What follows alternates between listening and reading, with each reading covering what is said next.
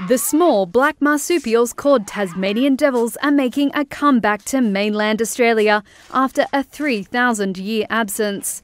It's believed dingoes wiped the devils out, whilst a contagious facial cancer reduced the devil population on the island state of Tasmania by up to 90%.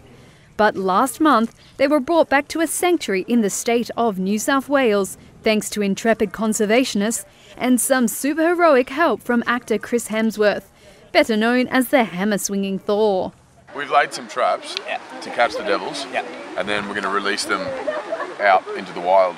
Correct. Yeah. They've had an incredible journey from Tasmania to make sure they're not disease free before they turn up here. Yeah. We've bred nearly 400 joeys, and we're at the point now that we're able to harvest some to return to wild and start and rebuild our ecosystems here. That's Tim Faulkner, who runs the conservation group Aussie Ark. Today marks the first time in 3,000 years or thereabouts that the Tasmanian devil has roamed mainland forests. And as an apex predator, it's critically important. Now, 11 have been set loose in the sanctuary, with plans to release 20 more next year. Australia has the worst mammal extinction rate in the world, but Aussie Ark says bringing devils back to the mainland will help to rebalance the forest ecology, damaged by the introduction of invasive predators.